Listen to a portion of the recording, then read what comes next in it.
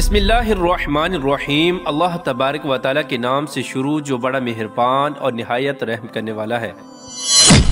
जल की बनाई हुई इस कायनात के अंदर बहुत सारे ऐसे बादशाह आए, जिन्होंने अल्लाह तबारक व के निज़ाम को बदलने की कोशिश की और अल्लाह तबारक व की ज़ात को छोड़कर खुद खुदा बन बैठे और खुदाई का झूठा दावा कर बैठे।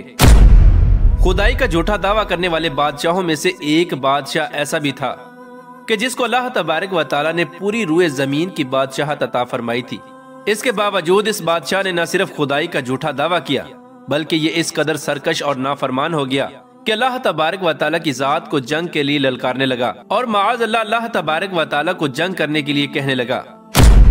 प्यार दोस्तों, आज की इस वीडियो में हम आपको बताएँगे कि अल्लाह तबारक व ताला को जंग के लिए ललकारने वाला बदबख्त बादशाह नमरूद कौन था। और जब इस बदबख्त बादशाह ने अल्लाह तबारक व ताला को जंग के लिए ललकारा तो फिर अल्लाह तबारक व ने कौन सी हकीर मखलूक के ज़रिए इसके साथ जंग की और इस बदबख्त बादशाह को हलाक कर दिया और पूरी दुनिया के लिए इबरत का निशान बना दिया? प्यार दोस्तों, कुरान पाक के इस इबरतनाक और ईमान अफरोज वाक्य को सुनने के लिए आपसे हमारी ये गुजारिश है कि हमारी इस वीडियो को एंड तक ज़रूर देखिएगा। यार दोस्तों, इस दुनिया की तारीख में चार बादशाह ऐसे गुजरे हैं कि जिनको अल्लाह तबारक व ताली ने पूरी रुए ज़मीन की हुकूमत अता फरमाई थी, उनमें से दो बादशाह मुसलमान थे और दो काफिर।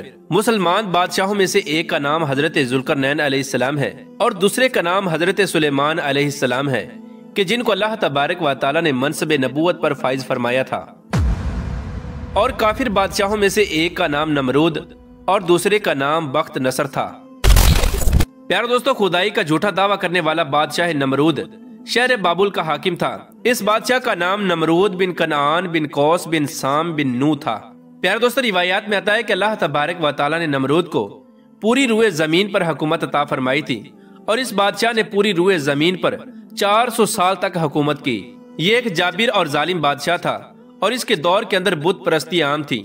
लोग अल्लाह तबारक व ताला की वहदानियत को छोड़कर बुतों की पूजा किया करते और नमरूद को अपना खुदा मानते और इसकी इबादत किया करते। इस नमरूदी दौर के अंदर बुत परस्ती इस कदर आम थी कि तमाम नमरूदियों ने अपने खुदाओं के तौर पर बहुत सारे बुत बनाए हुए थे, जिनकी वो लोग पूजा किया करते थे। इसके साथ साथ नमरूद खुद को भी खुदा कहलवाता और लोगों को अपनी पूजा करने का हुक्म देता। इस कौम की हिदायत के लिए अल्लाह तबारक व ताली ने अपने प्यारे पैगंबर हज़रत इब्राहिम अलैहिस्सलाम को मबूज फरमाया, कुफर शिरक और बुत परस्ती के इस दौर के अंदर हज़रत इब्राहिम अलैहिस्सलाम वो वाहिद शख्स थे जो अल्लाह तबारक व ताली की वहदानियत पर ईमान रखते थे और बुतों की बजाय अल्लाह तबारक व की इबादत किया करते थे। हज़रत इब्राहिम अलैहिस्सलाम ने जब इस कौम को अल्लाह तबारक व ताली की ज़ात को छोड़कर बुतों की पूजा करते हुए देखा तो हज़रत इब्राहिम अलैहिस्सलाम ने इस कौम को हिदायत की तरफ़ बुलाया और बुतों की पूजा करने की बजाय अल्लाह तबारक व की इबादत करने का हुक्म दिया। हज़रत इब्राहिम अलैहिस्सलाम ने अपनी कौम से फरमाया कि अल्लाह तबारक व की ज़ात एक है और हमें उसी की इबादत करनी चाहिए। लेकिन ये नमरूदी कौम अपने कुफर शिरक से बाज न आई और उसी तरह बुतों की पूजा करती रही। एक दिन हज़रत इब्राहिम अलैहिस्सलाम ने इस कौम के झूठे खुदाओं को, इस कौम के सामने झूठा साबित करने का इरादा किया और हज़रत इब्राहिम अलैहिस्सलाम उस मकाम पर तशरीफ़ ले गए, जहाँ इनके वो तमाम बुत पड़े हुए थे कि जिनकी ये लोग पूजा किया करते थे। हज़रत इब्राहिम अलैहिस्सलाम जब इस कौम के बुत खाने में पहुँचे तो वहाँ इनके तमाम बड़े बुत पड़े हुए थे। हज़रत इब्राहिम अलैहिस्सलाम ने इनके तमाम बुतों को तोड़ दिया और तमाम बुतों को तोड़ने का इल्ज़ाम उनके बड़े बुत पर लगा दिया। इसके बाद जब तमाम नमरूदी अपने बुत खाने में वापस आए तो उन्होंने अपने बुतों को टूटा हुआ देखा। नमरूदी कौम इस बात को अच्छी तरह जानती थी कि हमारे अंदर सिर्फ़ हज़रत इब्राहिम अलैहिस्सलाम ही वो वाहिद शख्स हैं, जो बुतों के खिलाफ बातें करते हैं और बुतों की बजाय अल्लाह तबारक वाली की इबादत करने का हुक्म देते हैं। लिहाजा जब नमरूदियों ने अपने खुदाओं को टूटा हुआ देखा तो वो समझ गए कि ये काम हज़रत इब्राहिम अलैहिस्सलाम का है। चुनाचे तमाम नमरूदियों ने हज़रत इब्राहिम अलैहिस्सलाम से बदला लेने के लिए हज़रत इब्राहिम अलैहिस्सलाम को कत्ल करने का मंसूबा बना लिया। चुनाचे तमाम नमरूदी नमरूद के दरबार में हाजिर हुए और नमरूद को सारा वाक्य सुनाया और नमरूद से हज़रत इब्राहिम अलैहिस्सलाम को सजा देने का कहा। इस तरह नमरूद ने जब ये बात सुनी तो वो आग बगोला हो गया और उसने एक मकाम पर आग जलाने का हुक्म दिया। नमरूद ने यह हुक्म जारी किया कि एक वसी मैदान के अंदर आग जलाई जाए और उसके अंदर हज़रत इब्राहिम अलैहिस्सलाम को डाल दिया जाए। चुनाचे नमरूद के हुक्म के मुताबिक ऐसा ही किया गया। दूर दराज से बहुत सारी लकड़ियों को इकट्ठा किया गया और एक वसी मैदान के अंदर जमा किया गया और उनके अंदर आग जला दी गई। हज़रत इब्राहिम अलैहिस्सलाम को सजा देने के लिए जो आग जलाई गई थी, वो इस कदर ज़्यादा थी कि उसके शोले आसमानों को छू रहे थे।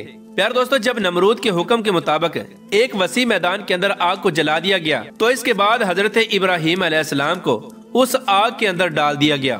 जैसे ही हज़रत इब्राहिम अलैहिस्सलाम उस आग के अंदर तशरीफ़ लाए तो अल्लाह तबारक व ने फ़ौरन आग को हुक्म दिया कि, ए आग तो हज़रत इब्राहिम अलैहिस्सलाम पर ठंडी और सलामती वाली हो जा। तो वो आग अल्लाह तबारक व के हुक्म के मुताबिक हज़रत इब्राहिम अलैहिस्सलाम पर ठंडी और सलामती वाली हो गई।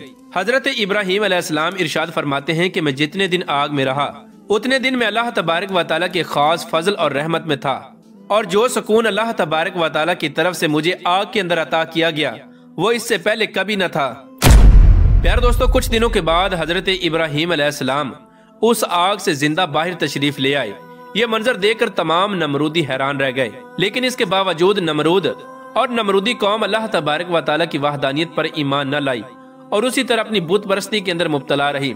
लेकिन इसके बावजूद हज़रत इब्राहिम अलैहिस्सलाम अपने अहद से पीछे न हटे और मुसलसल अपनी कौम को हक की दावत देते रहे।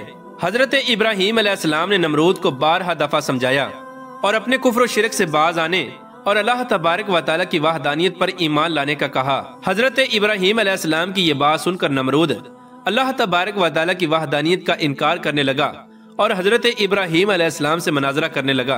और हज़रत इब्राहिम अलैहिस्सलाम के सामने नमरूद ने खुदाई का दावा कर दिया। नमरूद ने हज़रत इब्राहिम अलैहिस्सलाम से मनाजरा करते हुए ये सवाल किया कि, तेरा रब कौन है? तो हज़रत इब्राहिम अलैहिस्सलाम ने इरशाद फरमाया कि, मेरा रब वो है, जो ज़िंदगी और मौत देता है। ये बात सुनकर नमरूद मुस्कुराने लगा और हज़रत इब्राहिम अलैहिस्सलाम से कहने लगा कि, ये तो मैं भी कर सकता हूँ। चुनाचे नमरूद ने तकबर के साथ दो कैदियों को बुलाया। जिनको सजाए मौत हो चुकी थी। उनमें से एक को नमरूद ने कत्ल कर दिया और दूसरे को आज़ाद कर दिया। और इस तरह नमरूद तकबर के साथ हज़रत इब्राहिम अलैहिस्सलाम से कहने लगा कि देखो मैंने एक को ज़िंदगी दे दी और एक को मौत दे दी। इस तरह नमरूद हज़रत इब्राहिम अलैहिस्सलाम के सामने अपने आप को खुदा कहने लगा और अपनी खुदाई की बातल दलीलें पेश करने लगा। इसके बाद नमरूद फिर हज़रत इब्राहिम अलैहिस्सलाम से पूछने लगा कि हकीकी खुदा तो मैं हूँ, बता तेरा खुदा कौन है? इसके बाद हज़रत इब्राहिम अलैहिस्सलाम ने नमरूद को उसकी अकल के मुताबिक जवाब दिया कि मेरा रब वो है जो सूरज को मशरक से तलु करता है और मगरिब में गरूब करता है। अगर तू सच्चा खुदा है तो सूरज को मगरिब से तलु करके दिखा। चुनाचे जब नमरूद ने हज़रत इब्राहिम अलैहिस्सलाम की ये बात सुनी तो उसका रंग उड़ गया और वो लाजवाब हो गया। और इस तरह नमरूद लाजवाब होकर अपनी पूरी कौम के अंदर जलील रसुवा हो गया। प्यार दोस्तों, इसके बाद भी कई मरतबा हज़रत इब्राहिम अलैहिस्सलाम ने नमरूद को अल्लाह तबारक वाली की वहदानियत की तरफ़ बुलाया। लेकिन नमरूद अपनी सरकशी से बाज ना आया और उसी तरह कुफर शिरक के अंदर मुबतला रहा। चुनाचे हज़रत इब्राहिम अलैहिस्सलाम के बार बार दावत हक देने से नमरूद तंग आ गया और बिलाकर तंग आकर नमरूद हज़रत इब्राहिम अलैहिस्सलाम से कहने लगा कि अगर तेरा खुदा सच्चा है तो उसको बोल के अपनी फौज भेजे और मेरे साथ जंग करे।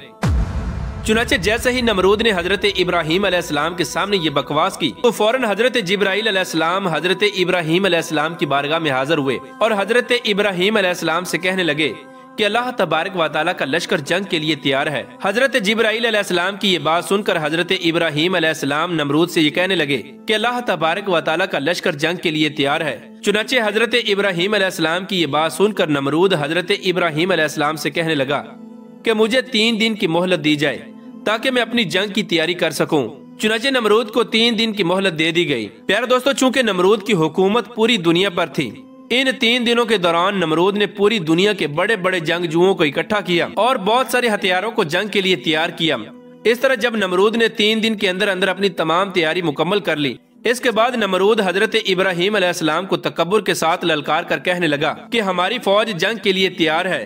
अपने रब से कहो कि अपनी फौज को भेजे। और हमारे साथ जंग करे। नमरूद की ये बात सुनकर हज़रत इब्राहिम अलैहिस्सलाम ने अल्लाह तबारक वाली की बारगाह में दुआ की तो अल्लाह तबारक वाली ने मच्छरों की एक फौज को भेजा। उन मच्छरों की तादाद इस कदर ज़्यादा थी कि वो मच्छर पूरे आसमान पर फैल गए। अल्लाह तबारक वाली ने इन मच्छरों को नमरूदी फौज पर मुसलत कर दिया। ये मच्छर अल्लाह तबारक वाली के हुक्म से देखते ही देखते नमरूदी फौज का गोश्त खा गए। और उनका खून पी गए। उस वक्त तमाम नमरूदी फौज की हड्डियाँ ही हड्डियाँ बाकी रह गईं। चुनाचे इस दर्दनाक मंजर को देखकर नमरूद अपने महल की तरफ़ दौड़ा और अपनी बीवी के कमरे के अंदर छुप गया। इसी दौरान अल्लाह तबारक वाली के हुक्म से एक लंगड़ा मच्छर नमरूद के घर में दाखिल हुआ।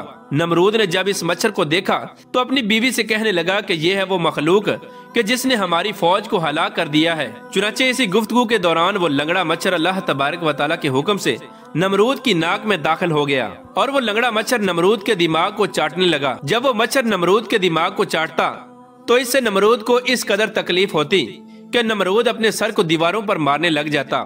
इस तरह अल्लाह तबारक वाली के हुक्म से वो लंगड़ा मच्छर नमरूद के दिमाग में कई दिनों तक रहा। उस वक्त नमरूद ने अपने महल के अंदर ये हुक्म जारी कर दिया कि जो भी मेरे महल के अंदर दाखिल हो, वो पहले नमरूद के सर पर जूते मारे।